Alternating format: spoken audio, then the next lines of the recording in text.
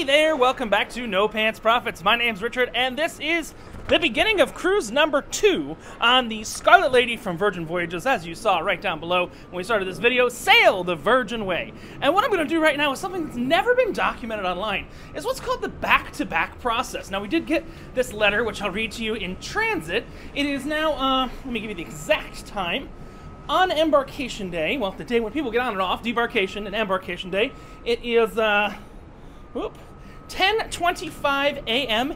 Eastern Time. The boat's supposed to be cleared by 10.45. We are not being rushed off. We're staying in the same cabin from one sailing to another sailing. The first sailing's great. You will see a review on that soon. But what I want to do is I want to show you the entire process. So what we're going to do is we're going to walk through a mostly empty uh, Virgin Voyages Scarlet Lady cruise ship, and you can see they are loading their provisions right now. So you see if we go down, if you wonder where the beer comes from, the beer comes from the Magic Beer forklift. So there's the Magic Beer forklift operators and the Magic Orange forklift operators. But what we're going to do is we are going to take a walk to the Sip Lounge on deck 7, which is the Champagne Lounge, which unfortunately, as I learned last night, does not have craft beers. Well, as I learned a few nights ago, uh, the Sip Lounge, the Champagne Lounge, the other nice thing is I can just press a little button right here and the curtains will close and the room will not get too hot. Now, when we leave and we do go to immigration, we need our passport and our vaccination card. So I'm going to take a walk out. We are staying on deck 12, so we're going to ride it down from deck 12. I'm going to read you a bit of the letter. I'm sorry for the darkness, but here we go. So, we did get this letter about two days before the end of the sailing, and it says, a dose of deja vu. It'll be right up there in the corner. Ahoy, Richard! There's only one thing better than sailing on Scarlet Lady, and that's sailing her twice. We're excited to continue your voyage with us on this back to back holiday.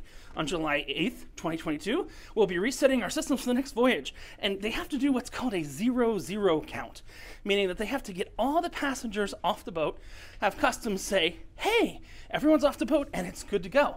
Now, we are also heading down for a COVID test. So I will put this whole letter, but they have to get everybody off the boat, hopefully for a very short period of time, and then we'll be able to get back on, go to our cabin, and personally take a nap, because 10.30 in the morning is a little bit too early for Mr no pants. Now, a lot of the breakfast things were open this morning. A lot of the lunch things will be open when we get back on. And something I'm going to do is I want to show you a quick tour of the empty, hopefully, Scarlet Lady by the time we get back on. But we're on deck 12. We just got to midship. Flip it around, side Z. And we're going to ride down from 12 down to 7 to the SIP lounge. Now, on our way to the SIP Lounge, we're actually going to go through the main foyer where everybody should actually still be getting off. So we'll see if there's any stragglers. They did just make this announcement a few minutes ago saying, But it's time to go. We hope you had a great time with us and you spread the word to everybody about your epic time on board. We hate goodbyes, so we hope to see you soon. Till then, take care. At this time, we are calling all sailors who are not staying with us for the next voyage to proceed to deck 7 midship gangway for disembarkation. Thank you and safe travels. Well, weird binging, but time to get off. But now it's time to get on, and you can even see, how do you know it's the last day? Well, because Richard is saying goodbye. Well, this, this, this Richard. Richard Branson is saying, we while we don't like to say goodbyes, it's time to say we'll see you again soon. Until then, we ask that you head to the roundabout on deck 7 mid to disembark. We are headed to. We'll see you. I get it, we'll see you. so we're headed to the roundabout on deck 7 mid, which should just be a whole bunch of people getting off the boat, waiting for their parties to get together, and everything like that. So we will continue right around. We can kind of see people still getting off. Sailor services. They're ha handling the money. She's handling the money. That's what's happening right there. But we are going to get in our back, two back group right here. Oh. So they're checking us in right here for back to back. You got, yeah, okay. And this is where we're going to get our COVID test and everything like that. So when I do actually get something shoved up my nose, I may bring you along for the ride. I will give you an update as soon as we have one. Uh, this is Richard waiting to get off, uh, get off the Virgin Cruise the Scarlet Lady, Virgin Voyage Scarlet Lady, to just get right back on again. See you back in a minute. All right, so we just got uh, swabby, swabby, nosy, nosy. Uh, you can see the photo right here, and we are waiting for the zero zero count. Now there are 20 people staying back to back. There are 1,320 people on the next sailing compared to 1040 on this current sailing that's about to end. So it is rising in preparation for Richard's birthday bash as it gets closer and into the realness of summer. And I do think it's kind of interesting, given Virgin Voyage's current uh, marketing campaigns, that you've got Branson up here right next to JLo. So I will share that with you. We got similar to what was in the elevator next to JLo. And other than this ad, we really haven't seen anything J-Lo related during uh, this sailing. So right now we are waiting for everybody who's not staying on back to back. So everybody but the 20 people that are staying back to back to actually get off board the sailing and to for us to get off and hopefully come right back on once we show our passports and vaccination cards. Once we did get swabbed, we did get a purple wristband, which is different than the red wristband or the don't remember the other color, red or green wristband when we were coming on, whether you had tested before you got on board or whether you had tested in the terminal. So next step is going off the boat and then checking in. I'll show you how much I can have customs and then coming back. All right, so now it is time. We are heading off to go right back on board. Uh, so that should be interesting. Everybody got their negative swabby swabby. So we go off and we go back on. Uh, 10:45 a.m. There were still six stragglers, and the last two finally got off board. So we're going to use this little band right here. Hopefully, tap off, reprogram us in the terminal, and tap back on. So let's see if we're ready to go. Now we will have to turn this off when we get to actual immigration, but I don't think it'll be half turned off before then. We're waiting right here. This is the main gateway where you get on and off the ship. We're going to get out of the way because they are moving bread. That's the bread master general. And that is the gangway. All right, so we are headed off board again. I'll be able to show you up until when we get to customs because customs does not like cameras in their face. But we are leaving the uh, 3rd of July voyage, and uh, hopefully, very quickly, going to be tapping back in. That is number 20 off the ship, number 19.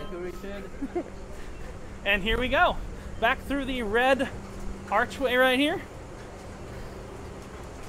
Again, last people off board and first people back on board that are on the passenger manifest. Something they have to do for maritime reasons is get to something called a double zero count. Double zero count is only required in the United States and, believe it or not, only at certain ports. Due to customs and border protection, they request everybody that is on the passenger manifest get off the boat. Even there's a lot of shoreside personnel and other people, and even some of the guest artists that were on board are actually getting off and then coming right back on. But we're walking right into the Virgin Terminal here. Again, I might have to go off at any time due to customs and border protection reasons. But until I get to the no photo area, we will continue the little walk. Ooh, ooh, that's some nice air conditioning. For a big boy like me, big boy likes nice terminal air conditioning. I know it's weird to say that, but I do love me some nice terminal air conditioning. I will tell you, our first sailing was actually very good. You will see coming out in about a week or so. You'll see our full nine month later review. Since the last time we were on Scarlet Lady, we only did four days. We're doing 10 days this time. Uh, it's been enough time for Scarlet Lady to have a baby in the last nine months. Some things never change and some things stay the same, and we're going to be going over all of that. So the nice thing is, I will show you in front of us, there are no crowds zero crowds. We have a crew member that is actually escorting us to customs and luggage claim. And I will shut this off whenever they say I have to. So, show you where we are. That says customs. Again, as soon as they say I have to shut it off, see there is the Virgin Voyages Scarlet Lady right there. This whole process should be rather quick, but nobody really knows. Virgin Voyages is partnering with U.S. Customs to expedite your arrival. Your photograph will be shared with the photograph image associated with your passport. You can pause that, read that. Let me take a picture of that really quick so you can see what's going on. Oop. Quick photo. Whoop. All right. Catching up to the group, you can see we are a small but mighty group. And we are coming down to where you would normally get your luggage claimed. And you can see not many people here. See you soon, sailor, spelled S E A. See you soon, sailor. And we're going down again. Once we enter the area for Customs and Border Protection, we will have to turn off the video, but I will show you as much as I can until then. So we are going down to where you pick up your luggage. They do also allow you to just walk off with your luggage, which is what we'll be doing in five days from now. But for right now, we have left all of our luggage on board. All we have with us are our passports and our COVID vaccination cards. Our test for all 20 people did come back negative, did come back very quickly. I questioned the validity of those tests, but I don't really care because it lets us stay on for another cruise. But we got this little wristband, which should allow us to just walk on, walk back up, and I'm going to show you in real time as much as I can. So we are about four minutes off of the ship right now, just to give you an idea. Going down the escalator and in the big old luggage hall.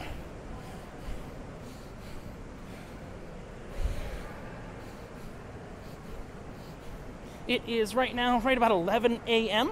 and we started this journey about 40 minutes ago, 30, 40 minutes ago. And I think this is where we are going to have to uh, depart from each other for a minute because we are at customs processing and customs processing, trust me, customs processing does not like cameras. So as soon as we see if we're at customs processing, I'll cut it off and I'll pick it back up once we're back in the US and then once we leave again. But you'll see, yep, customs does not like cameras, so that's where we are. I will see you back in a few minutes' time. It's 11 a.m. I know sometimes the passage of time is funny, but I'm back with you 15 seconds later. So, yes, as I said, I know sometimes the passage of time is funny, but I'm back with you 15 seconds later. They looked at my passport. The nice immigration officer said, Have a nice day. And we are headed back to do the check in process to check back in for our second cruise. Now, I will say, I have not checked in for the second cruise on the app because it wasn't really letting me, but uh, we'll see how smooth this process goes. And believe it or not, with that, we are headed back up towards the boat, towards the ship. I don't know if we're headed to the check in or where we're headed, but the good news is I can leave you on for most of this time. And why I can leave you on for most of this time is because immigration, customs, border patrol, all that stuff is done, finito, finished. So everything else should be pretty available and pretty accessible to show you. We did already get our COVID test, as you saw earlier. Um, our documentation is checked. Again, as I said, I have not gone ahead and checked in for this sailing yet because it was back to back. It was giving me trouble, and this sailing's not on my credit card. It's on the person I'm traveling with's credit card. So makes things a little bit harder for me to go ahead and check in. So it may actually be a slightly longer process than my first sailing where I had checked in fully online beforehand. But we'll see. So we're getting to the top of this escalator. Just to give you a time check real quick. It is 11:05. If you remember, we had to get 20 people through the immigration spot check. Uh, it is 11:05 on July 8th. We are just following right down. Immigration was super quick. And this segment right now, I may speed up through some editing magic, or we may watch it. But there's about 20 people staying back to back. I think we're going back to the terminal to check in again. Let's see, it looks like all the terminal employees are arriving for the day to start checking people in. Virgin Voyages is very, very different. You do actually have a very late checkout time for cruise ship purposes and a very late check in time for cruise ship purposes. So I'm not sure if we're going to have to go back through security. I mean, we got off the boat. I don't think we've got to go back through security. Oh, look. There are people right here waiting to check us back in, which is great. So, when we get checked in, I will be right back with you. All right.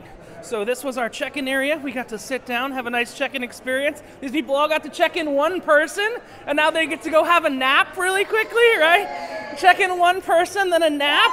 Woo! Now it's nap time! Because that's what it is for all of us.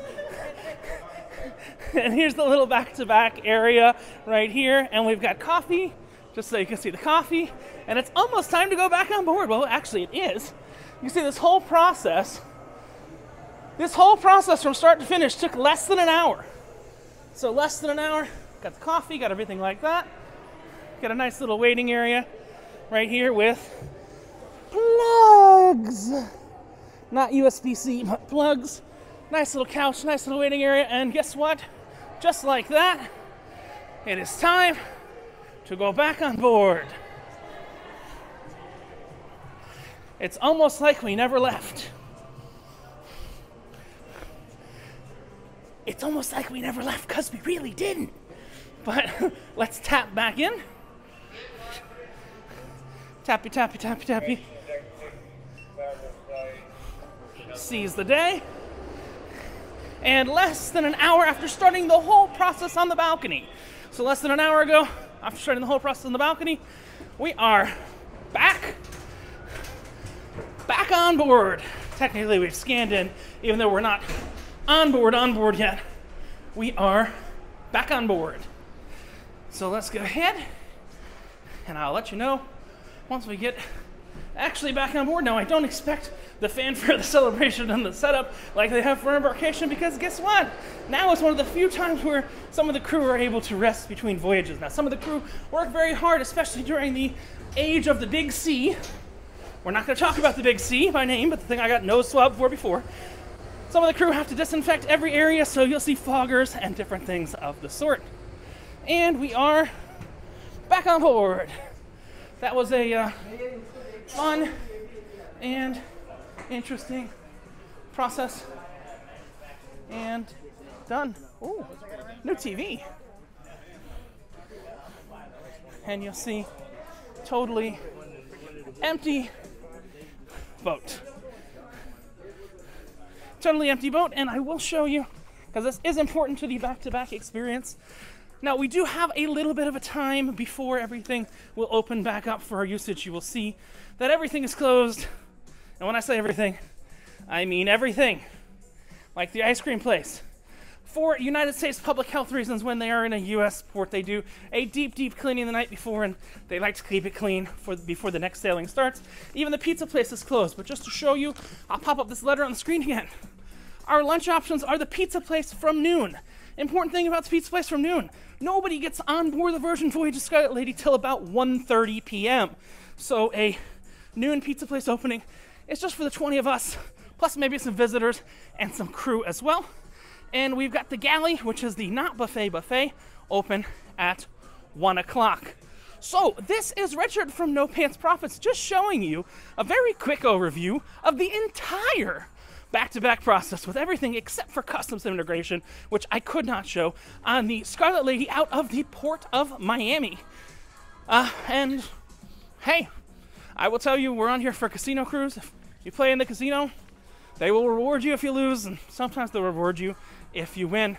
This is Richard from No Pants Profits coming to you from round two of the Scarlet Lady. Full review coming soon, reminding you that when you wear no pants, all you got left to lose is your shirt. Have a great one. Bye.